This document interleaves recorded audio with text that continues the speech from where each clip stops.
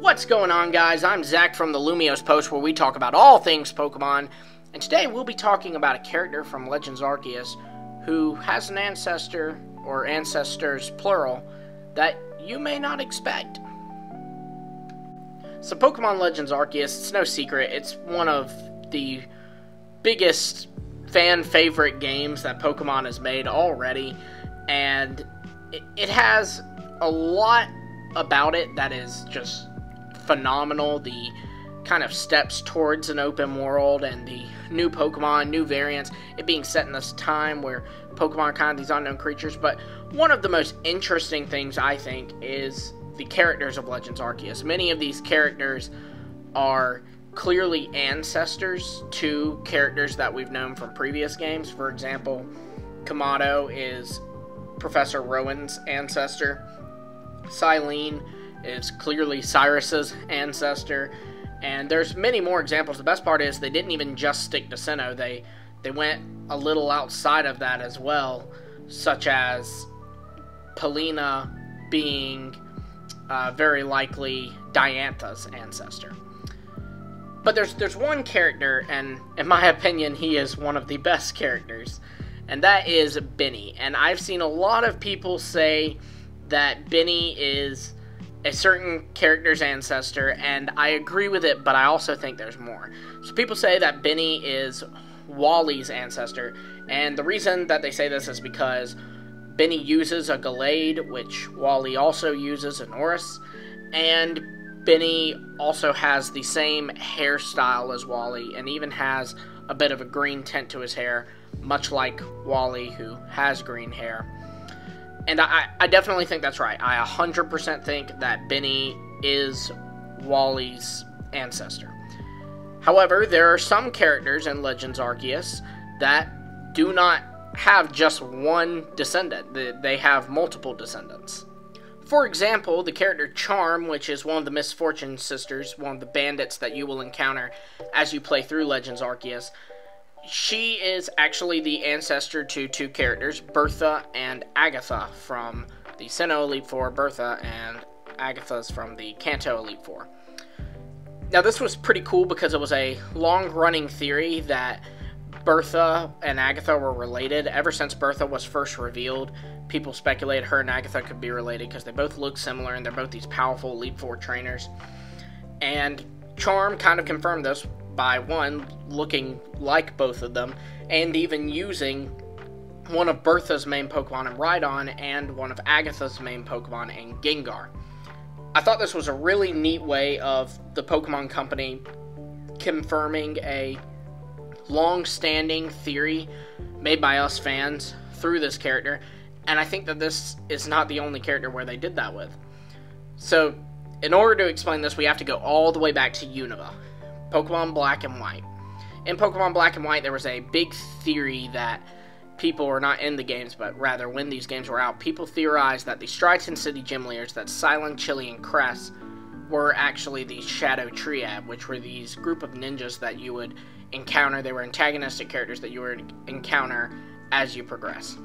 Basically, the reason this theory existed was because the Striaton gym leaders were not present at the finale of black and white where all the gym leaders come in, except for the Striaton City gym leaders, and help you battle Team Plasma. And the interesting thing about that is the Striaton gym leaders are the only ones that are missing, and the Shadow Triad is there. So it just seemed kind of fishy that all these gym leaders rally together, but the Striaton gym leaders didn't want to join in.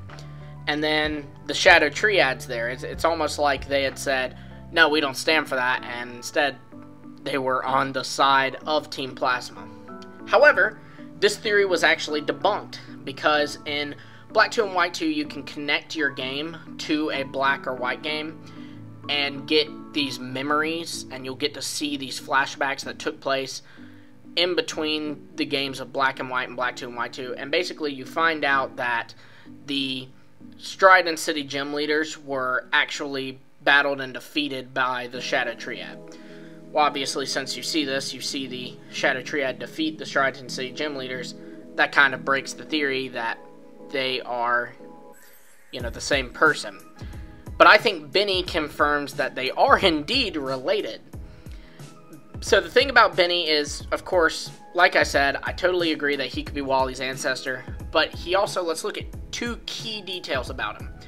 For one, he's a chef. He cooks apparently delicious potato mochi, and it, it should be noted that the Striaton City gym leaders, while also being gym leaders, they also own a restaurant. Their gym is actually a restaurant in Striaton City. So they are also very good chefs.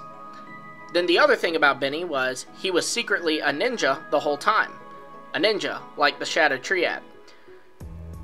Furthermore, if you look at Benny, you can see that he, he kind of looks, maybe this is just me, but he kind of looks like Cilan to me. I'll show a close up picture of his face, and I'll show up a close up picture of Cilan's face. It, it just looks very similar to me. You know, tell me in the comments if you think I'm absolutely crazy, but I think they're totally the uh, I think the Striaton City gym leaders are totally the descendants of this guy.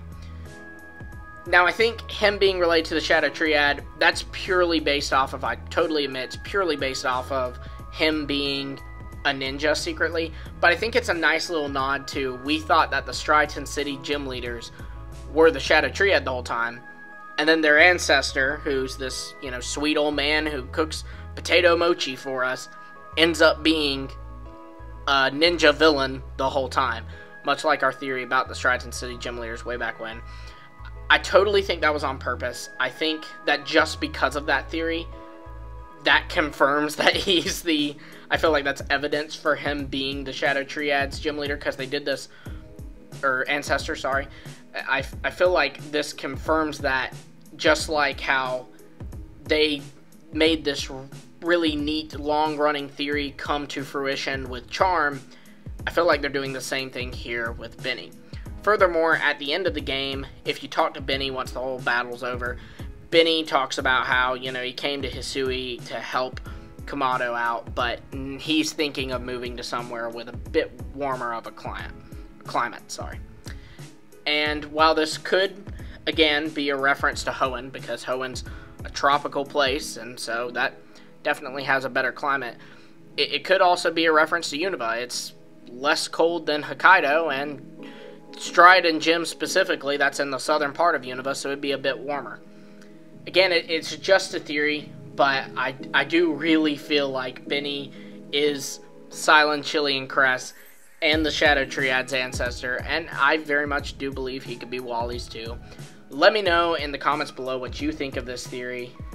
Be sure to like, subscribe, hit the bell for notifications, because we have a lot more cool theories coming up, specifically about Legends Arceus. Those games were like the world's fattest cow for those who love theories and lore. I mean, there's just so much to eat from that. But yeah, so be sure to keep up to date with all the stuff on the channel. We've got tons of more coming. We've got tons of Scarlet and Violet videos coming up too. Until next time, I'll see all of you.